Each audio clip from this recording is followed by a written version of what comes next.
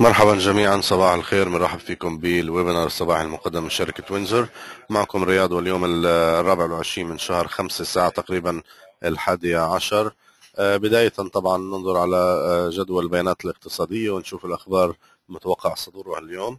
قبل بضع دقائق صدر عنا مؤشر آه، آيفو الألماني للبيئة الاستثمارية وكانت القراءات تقريبا أعلى من التوقعات بشيء بسيط.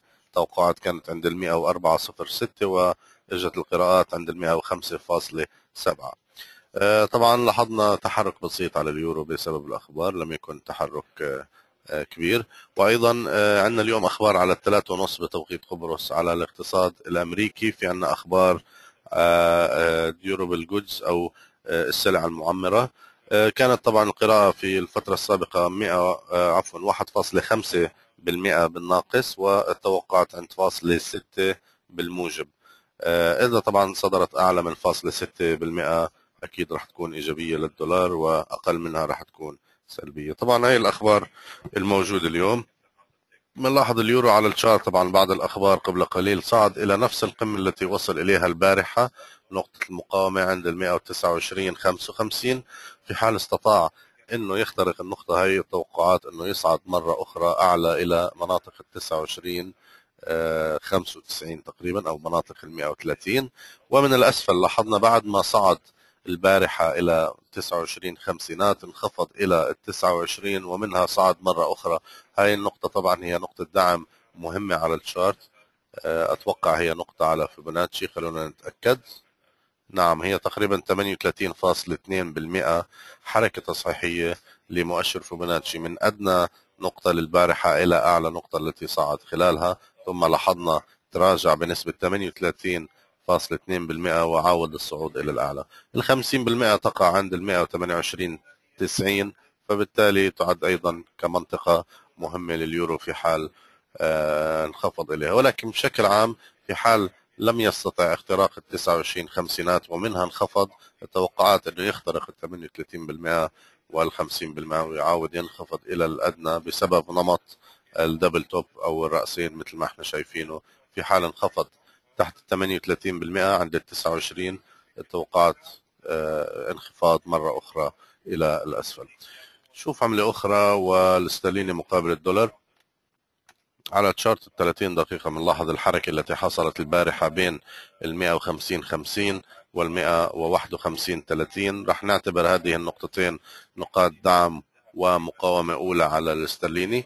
فعلا نقطة بسيطة التي أغلق عندها البارحة على التشارت منطقة ال 51 13 لاحظنا أيضا هي كانت أعلى سعر وصل إليه اليوم.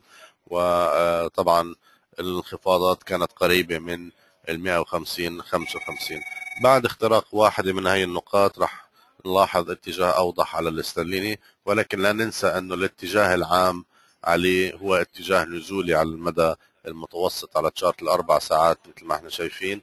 فعدم قدرته على الارتفاع فوق منطقة ال 51 30 وحتى ال 51 60 راح يعطيه آه، فرص لانخفاض أكثر إلى الأسفل.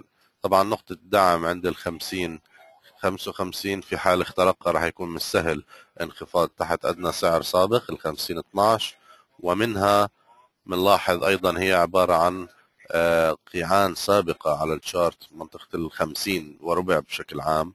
آه، منطقة مهمة. في حال اخترقها توقعات إنه يكمل الانخفاض إلى 48 وربع السعر الأدنى السابق الذي وصل إليه بشهر ثلاثة. في حال فشل بالانخفاض تحت ال 50 مثل ما إحنا شايفين الاحتمالات أيضا الصعود إلى الأعلى فبالتالي نقطة مهمه نراقبها أدنى أسعار حالية التي وصل إليها من الأدنى ومن الأعلى مثل ما حكينا منطقة ال 51 وربع إلى منطقة ال 51 50 أو ال 51 60 كمنطقة تعد منطقة مهمة على الاسترليني وفي حال اخترقها. نتوقع صعودات إضافية إلى الأعلى مرة أخرى وانكسار في الترند النزولي اللي إحنا شايفينه بهذا الشكل. ننتقل لدولار مقابل ين والدولار مقابل ين لاحظنا انخفاضه واحد صفر سبعة والتي كانت قاع سابق. لاحظنا نتوقف على الانخفاض عند النقطة هاي. وأيضا بنلاحظ خلال الفترة محاولات عديدة للارتفاع فوق ال 101 83 وفشلوا حتى الآن بالصعود فوقها. توقع في حال استطاع اختراقها والأغلب أنه يستطيع أنه يخترقها ويصعد مرة أخرى إلى الأعلى عندنا أول أهداف مناطق ال 122 أهداف أخرى مناطق ال 172 ثم مناطق ال 103 ستينات القمم السابقة التي انخفض منها. بينما في حال عاود انخفض تحت ال 101 وأيضا نقطة ال 183 نتوقع أنه يكمل الاتجاه النزولي ويكمل الحركة التصحيحية إلى مناطق قريبة من القمم آه، المئة التي توقف عندها في السابق لأشهر والتي اخترقها في آه، تقريبا شهر خمسة في بالذات في يوم عشرة خمسة. ولكن مثل ما إحنا شايفين ما زلنا بترند صعودي على المدى الطويل وفي حال فشل باختراق الدعم التوقعات مثل ما إحنا شايفين يصعد ويكمل الاتجاه على المدى الطويل. السويسري من جهة أخرى مثل ما إحنا شايفين على الشارت يعني عم بيحاول الانخفاض تحت مناطق ال 96 ثلاثينات وبيفشل حتى الآن من فترة 17 5 حتى الآن ما زال يفشل باختراق هاي المناطق. ومن الأعلى كنا نلاحظ أنه كان يصعد لمناطق قريبة من 97 ونص مرة واحدة صعد إلى ال 98 ثلاثينات ومنها انخفض مرة أخرى إلى ال 96 35 فحتى الآن 96 35 ما زالت نقطة دعم مهمة على الشارت ومن الأعلى في حال صعد ممكن استعمال فيبوناتشي واستعمال النقاط التي توقف عندها في السابق عندنا نقطة عند ال 97 40 وال 97 70 ومن ثم بعدها ارتفاع مرة أخرى إلى الأعلى. نشوف نقاط فيبوناتشي. بنلاحظ 38% التي توقف عندها حتى الآن عند ال 97 13 50% تقع عند ال 97 38 فبشكل عام منطقة ال 40 مهمة في حال اخترقها التوقعات إنه يكمل الاتجاه إلى الأعلى آه، فوق 97 40 ويعاود إلى القمة السابقة أو حتى يخترقها. بالنسبة للذهب بنلاحظ البارحة بعد آه، صعوده إلى مناطق قريبة من القمم السابقة أيضا نقطة ال 1400 عاود انخفض إلى ال 77 البارحة مساء فبالتالي رح نستعمل هي النقطة كنقطة دعم لليوم في حال انخفض إليها وأيضا نقطة ال 1400 تبقى نقطة آه، مقاومة فحتى الآن يتحرك بشكل جانبي بين ال 1377 وال 1400 وبعد اختراق واحدة من هذه النقاط نتوقع إما صعوده إلى 1420 إلى الأعلى أو انخفاضه إلى القيعان السابقة عند ال 350 وحتى ال 335 بعد اختراق ال 350